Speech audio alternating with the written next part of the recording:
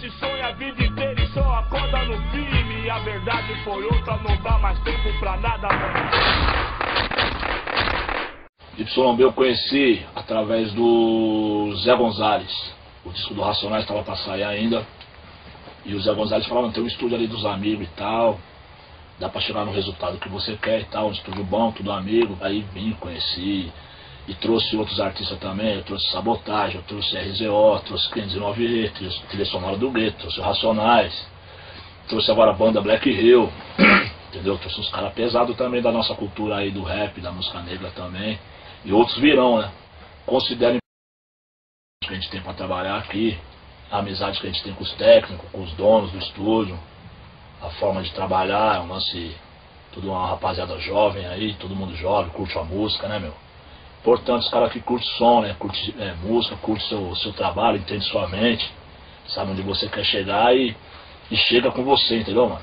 Então acho que isso faz a diferença aí, pelo menos no meu caso, pro YB fez a diferença, essa, essa sintonia aí.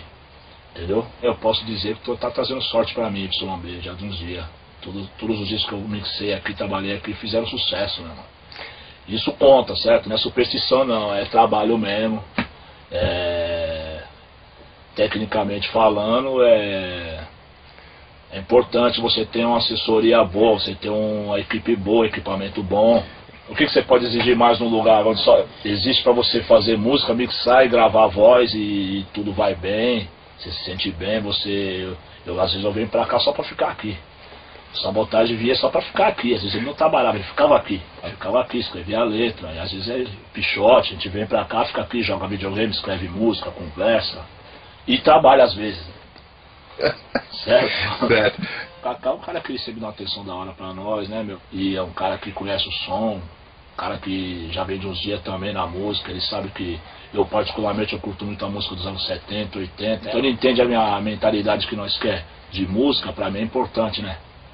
Um cara que já tem uma visão também musical do, é, de acordo com o que a gente gosta, né, mano? Ele sabe o resultado que a gente quer chegar e chega, certo? O importante é que chega, não adianta querer, mas chega, tem que chegar, né, mano?